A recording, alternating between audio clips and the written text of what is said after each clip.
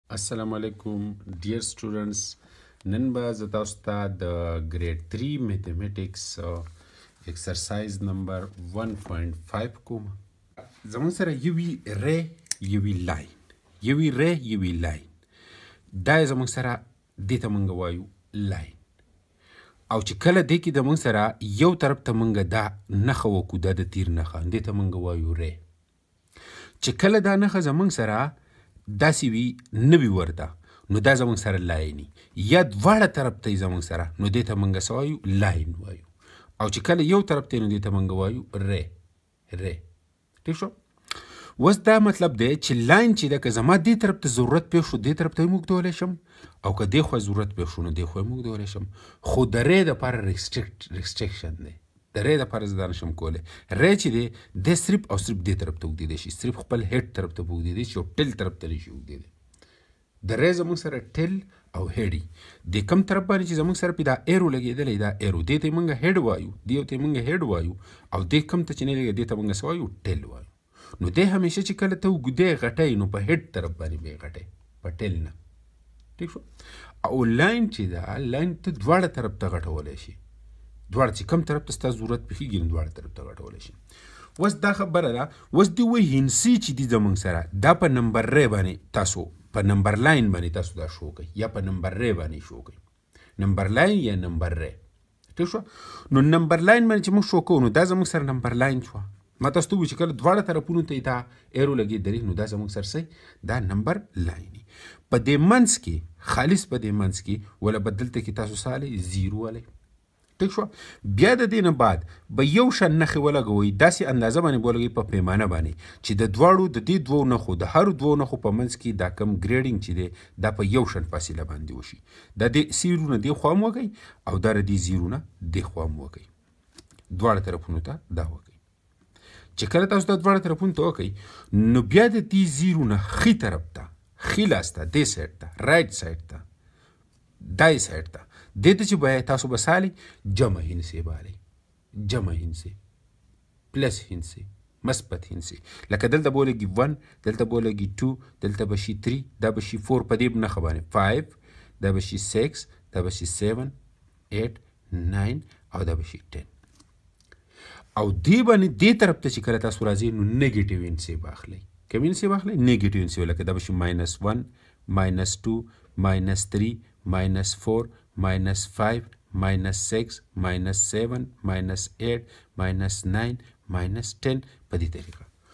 نو چې کله منګه زیرو به په منځ کې اخلو او د زیرو نه به خي طرف ته جمع انسي اخلو او ګس طرف ته به منفي انسي اخلو دې ته منګه وایو په دې باندې ریپرزنټیشن په نمبر لاین باندې اوس راځي ایکسرسایز نمبر 1.5 سوی ایکسرسایز 1.5 وایي رائټ د میسینګ نمبر اند د نمبر ری میسینګ نمبر یې پکې ولیکه نو سیکوا د چی سر شوله زیرو دلته دی خي طرف ته صرف تللی صرف زموږ سره د دې لاین د نیم لاین دراغستې ده ریډ سیټ ته زیرو خو دلته دی کنه نو چې د دې خو باندې را روان دی نو په ګس ته خي طرف ته چې د ماته ستوي سجل بکیږي جمع یې نسی وای نو 1 2 3 4 5 6 په دې کې براشي 7 په دې کې براشي 8 په دې کې براشي 9 په دې کې براشي چې 10 ٹھیک شو اوس دلته که ته وګورې نو زیرو کوم ځای دلته نو د زیرو همیشه د خي طرف ته څۍ جمع انسي نو ون شو بیا دا څۍ ټو بیا دا تري فور فایو سکس سیون ایټ ناین او ټین اوس که ته دلته وګورې دلته وګورې نو د شروع کړل د چی نه ماینس 20 نه خو ماینس 20 نه چې شروع کړم چې په دې خوا زم نورو بس کېږي غټېږي به نو دا ماینس 20 دی نو ماینس 19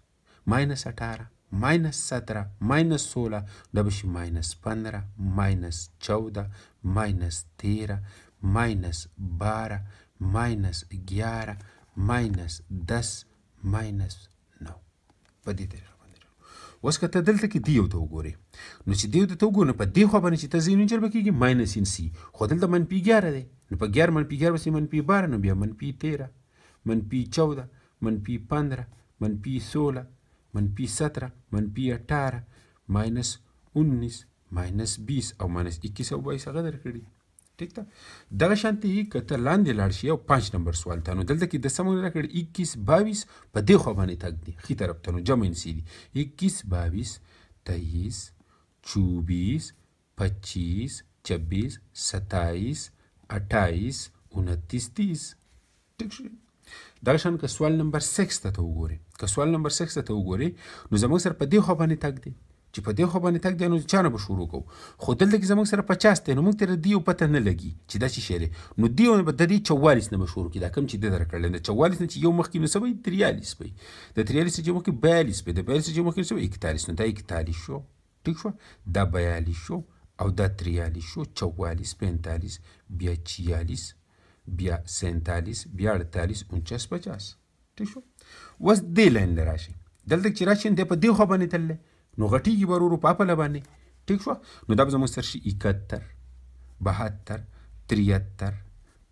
چورتر، پچهتر، چیهتر، ستتر، اټهتر، انسی، اسی. ټیک شو اوس دی لراشئ چې هغه هغه اخیری نچوړ زموږ سره دا دی نو که تاسو وګورئ نو دا زموږ سره نمبر لاین نه دواړه طرفونو باندې ده نمبر ری نه دی دا نمبر لاین دی دا پر چې زموږ سره یو طرف ته غشو دا نمبر ری خو نمبر ری چې کله زموږ سره زیرو په دې سر باندې وي او منګي په دې سر باندې زیرو دلته او خي طرف ته تی منګه ځو نو منګ به سګو جمع انسبی لیکو خو که فرض که په دې طرف باندې وړه انسه یا زی وي او منګه ګس طرف ته ځو نو بیا به موږ څه لیکو منفي انسه به موږ لیکو ټیک شو خو دلته که ته وګوره دې نمبر لاین ته نو دلته مغه شری دلته مغه شری نو ظاهره خبره ده چې زیرو په سکه راغی په منځ کې راغی